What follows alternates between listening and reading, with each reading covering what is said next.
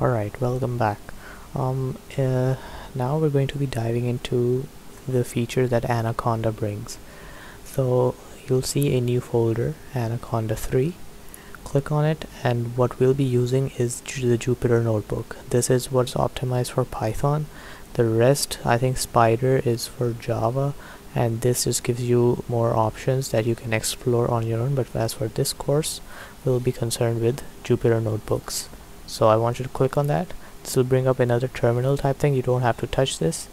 It'll open a new tab inside your browser. Uh, and and the this is basically a file explorer. This is Jupyter. You're looking at Jupyter right now and it's open up to the user directory. What the user directory is is basically um, this this one. You go into you go into C drive you go to users and over here mine happens to be user but your your will be your name or the account name of whoever uses the computer. And this is the folder that we're on right now. As you can see 3d objects 3d objects anaconda 3 anaconda 3 so this is the folder that we're in right now in inside of Jupyter. Over here I want you to choose a folder that will be your testing grounds as I like to say. So I'm going to go into documents I'm going to go into programming and I'm gonna make a new folder over here. A new folder.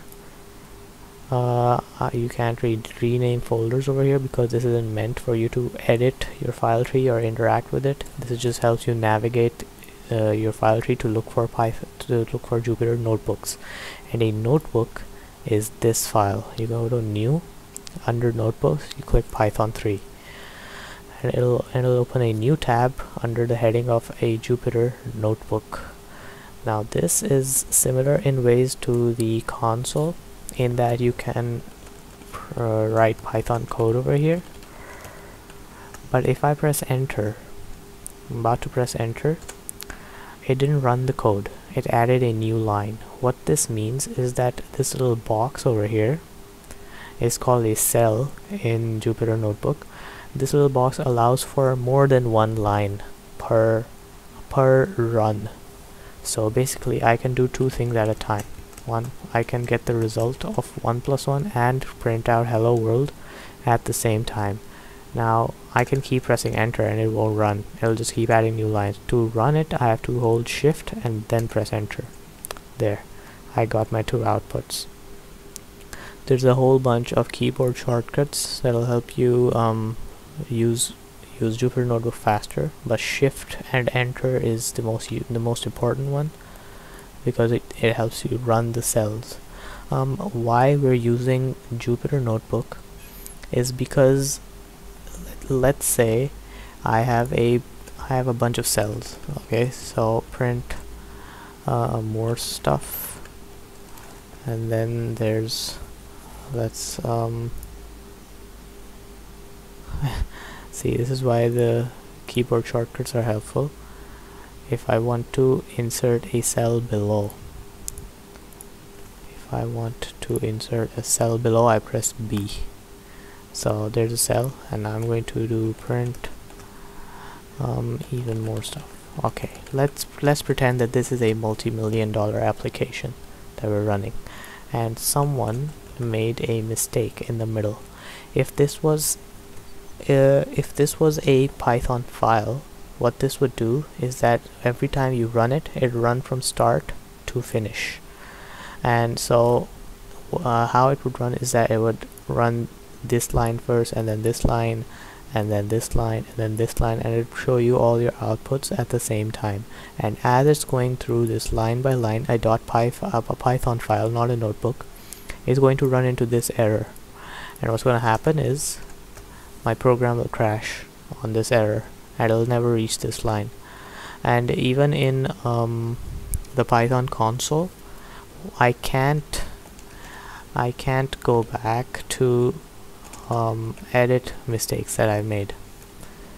So if I were to do make that typo over here typo my program crashed but I cannot go back to fix it. I'm pressing backspace I'm typing the up arrow it just brings it back. So what this means is that I have to do it again correctly for it to work. I cannot go back to edit this. But in a, in a Jupyter notebook I can go back to edit whatever I want. So let's say that I want to test each of these features um, separately. So basically resetting my stuff. Um, just uh, just one second.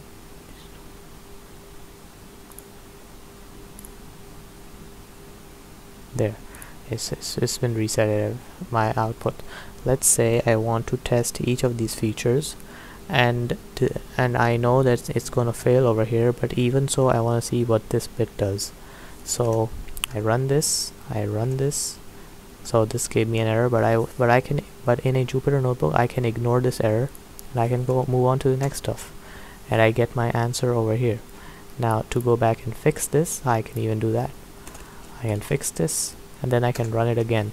And that and this is the power of Jupyter Notebook. Basically allowing you to edit line by line code and allowing you to skip errors entirely to focus mainly on the bigger picture so you don't get bogged down by just one error. Um, so yeah.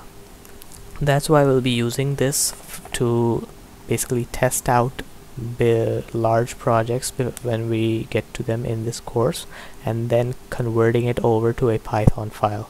And in the next video I'll explore what a Python file is.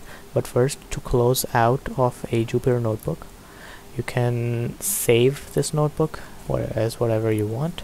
So test one and save. Uh, oh yeah you have to include the extension IPyNB. NB stands for notebook.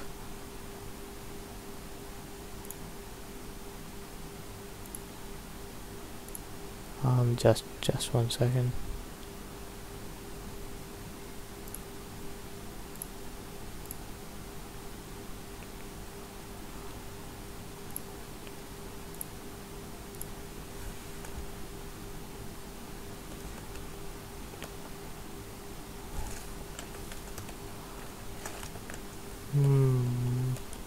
Too familiar with this. Why is this not working? Anyway, um, I'll show you how to save it later when I figure it out for myself. But uh, to close out of this, I want you to go not cl not close out of the tab, but do close and halt because the python.exe interpreter is running in the back to interpret your code. So you're gonna want to stop that, and to stop that, you hit close and halt that closes out of that tab and then you can close out of the Jupyter the one we opened from the Anaconda folder by hitting control C over here. This will kill that process and now you cannot use Ju the Jupyter notebook interface as open in your browser. If I try to open the notebook again it, it won't open. If I try to go back to these folders I can't because Jupyter isn't open to communicate with the file explorer anymore so yeah basically that's just something to keep in mind to help you close out of Jupyter properly. And yeah I will see you in the next video to learn about Python files